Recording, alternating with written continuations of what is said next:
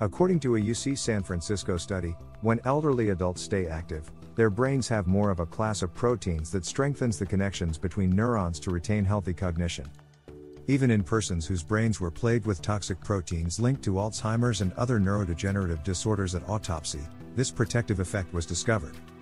Our work is the first to use human data to show that synaptic protein modulation is related to physical exercise and may generate the good cognitive results we detect, said Kaitlin Casaletto, PhD, an assistant professor of neurology and the study's lead author.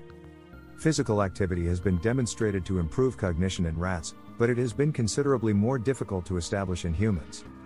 Casaletto, a neuropsychologist at the Weill Institute for Neurosciences, collaborated with William Honer, MD, a professor of psychiatry at the University of British Columbia and the study's senior author, to use data from Rush University's Memory and Aging Project.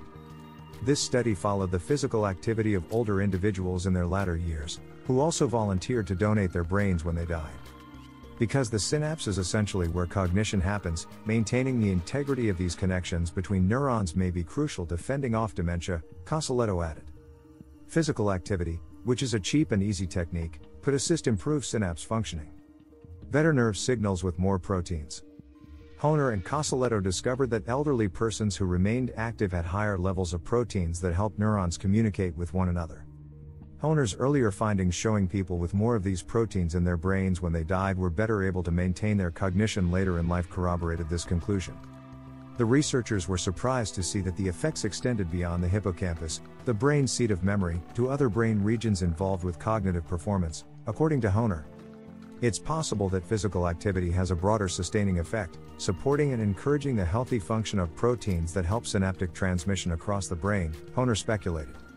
Dementia prone brains are protected by synapses. The harmful proteins amyloid and tau, which are hallmarks of Alzheimer's disease pathology, accumulate in the brains of most older persons. Many experts believe that amyloid builds up first, followed by tau, causing synapses and neurons to break down. Casaletto previously discovered that synaptic integrity appeared to decrease the link between amyloid and tau, as well as tau and neurodegeneration, when evaluated in the spinal fluid of living people or the brain tissue of autopsied adults.